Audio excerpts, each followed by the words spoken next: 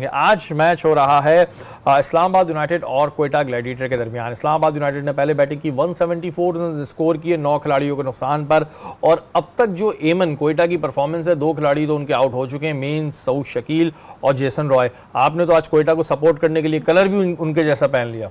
बिल्कुल जी बहुत ही turbulent start हुआ है कोयटा ग्लेडिएटर का क्योंकि उनके जो मेन प्लेयर्स हैं जो स्कोर कर रहे थे सऊद शकील वो आउट हो गए और अनफॉर्चुनेट है उनके लिए ऐसा स्टार्ट बट अभी बहुत ज़्यादा मैच बाकी है क्योंकि अभी हमने रायली रॉसो को भी देखना है कि उन्होंने किस तरह से अपनी इनिंग्स को स्टेबल करना है।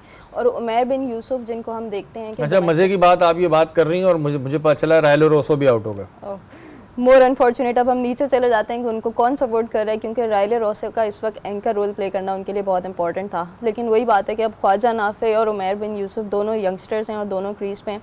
उमेर बिन यूसुफ के डोमेस्टिक में बहुत ज़्यादा रन है और ये एक ऐसा पोटेंशियल है जिसको बहुत पहले पाकिस्तान की डोर को नॉक करना स्टार्ट कर देना चाहिए था। तो आई बिलीव कि ये उनका टाइम है कि जहाँ पर वो अपने आप को शो अप करें ना और ये प्ले ऑफ़ का मैच है और इसमें उनकी बहुत ज़्यादा लेकिन इस वक्त प्रेशर भी तो एमन बहुत होगा ना क्योंकि सारे मेन मेन खिलाड़ी आउट होगा और आज जो मैच हारेगा वो अपने घर जाएगा। तो ज़ाहिर है अगर एक नया प्लेयर है तो उसके ऊपर प्रेशर तो होगा। बिल्कुल देखें प्रेशर आप पे क्रिकेट में थ्रू आउट ही रहता है तो यही वो टाइम है यही वो स्टेज है कि जिस जहाँ से उन्होंने इस चीज़ को कार्व करके आगे बढ़ना है। तो आई थिंक उनके लिए ये एक बेस्ट स्टेज है जहाँ पे वो परफॉर्म करेंगे तो उनकी परफॉर्मेंस नज़र आएगी। ख्वाजा नाफे ने भी आते साथ ही परफॉर्म किया था लेकिन अब हम यही कह रहे हैं कि उन्होंने कंसिस्टेंट इस चीज़ को परफॉर्म किया। ग्रुप मैच में किया।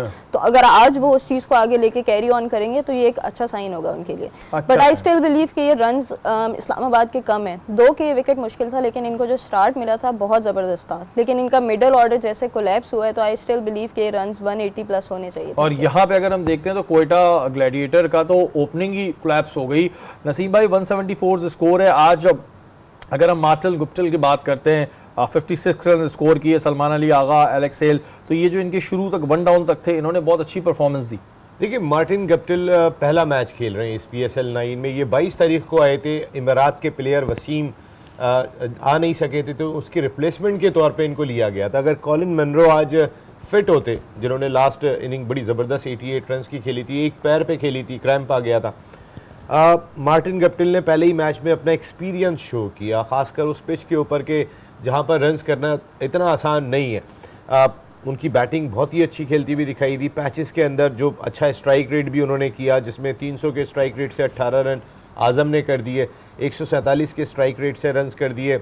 अपना शादाब ने आके दरमियान में कर दिए। 176 के आगा सलमान ने एक सौ सैंतालीस से कर दिए। तो इस पिच के ऊपर भी वो अच्छा स्ट्राइक रेट मेंटेन कर गए दरमियान में। लेकिन मार्टिन गप्टिल को जो उन्होंने जो टास्क दिया था, उसी टास्क के मुताबिक खेले। 47 56 जो उनका एक्सपीरियंस था कि आपने एक एंड पे रुके रहना है और उनकी गिफ्ट जो है वो बैटिंग को चला।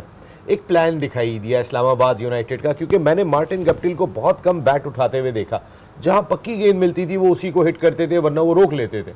वो बताते हैं 47 और 56 बॉल अच्छा ये जो प्लान दिखाई दिया। हाँ, प्लान तो चले आज शादाब ने कुछ प्लान बनाया होगा और अभी तक तो अच्छा ही जा रहा है। ग्यारह रन पे तीन खिलाड़ी कोयटा ग्लैडिएटर के जो आउट हुए हैं इसके बाद अब आपको लगता है कि ये मैच चेस कर पाएँगे? बहुत ही मुश्किल हो गया बहुत मुश्किल हो गया। क्रिकेट में कोई चीज़ नामुमकिन तो नहीं होती है हाँ। लेकिन बहुत मुश्किल हो गया। कोई एक बड़ी बारी वो हम देख ही नहीं रहे कोयटा की जानब से।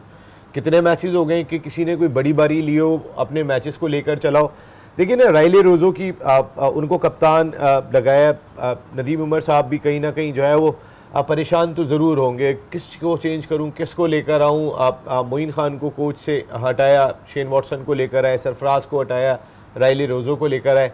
बहुत सारी चेंजेस की थी उन्होंने और अपनी पूरी मैनेजमेंट चेंज कर दी थी लेकिन अनफॉर्चुनेटली वो क्लिक करके अगर आज का अगर आज का मैच जीतते हैं तो फिर वही वाली बात है कि क्रिकेट में वैसे कुछ नामुमकिन तो नहीं है। आखिरी छह बॉलों पे छह चक्के ही पड़ सकते हैं लेकिन अब तक की जो सूरत हाल है उसके लिहाज से एक चीज़ मैं आपको बताऊँ अम्माद वसीम पे हम जितना डिस्कस करते थे बड़े मैच का बड़ा प्लेयर आज जो दो आउट किए हैं अम्माद ने जो उनकी बॉलिंग अब तक की है दो ओवर तीन रन दो out this is the difference experience अच्छा अगर बॉलिंग में आज देखते तो आमिर की भी एवन बहुत हम्म। अच्छी बॉलिंग रही अगर नसीम शाह छक्का नहीं मारते तो, तो चौदह रन थे चार ओवर में दो विकटें ली उन्होंने।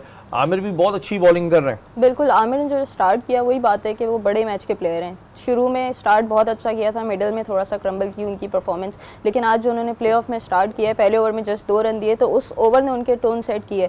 लेकिन unfortunately second over Mohammad Waseem को दे दिया, जिनको हमने थ्रू आउट इस टूर्नामेंट में पावर प्ले में देखा नहीं। और वहाँ आके उनको तीन बाउंड्रीज लगी तो कोयटा ग्लेडिएटर ने थोड़ा सा लूज़ करना शुरू किया। फिर अबरार भी अनफॉर्चुनेटली बहुत ज़्यादा एक्सपेंसिव रहे। तो आमिर की यहाँ पर जितनी तारीफ़ की जाए कम है, क्योंकि उन्होंने बड़े मैच में आके कोयटा का बहुत साथ दिया है। फिर आके उन्होंने नीचे से हुनैन शाह और बैक टू बैक विकेट्स ली तो मिडिल ऑर्डर को भी निकाला। बिल्कुल जी, अब तक की परफॉर्मेंस जो है, उसके लिहाज से कोयटा जो है, वो उसका पलड़ा काफ़ी नीचे आ चुका है। अगर आज कोयटा मैच हारती है तो इस्लामाबाद जीती है तो फिर पेशावर और इस्लामाबाद का मैच होगा फिर देखते हैं कौन जीतेगा।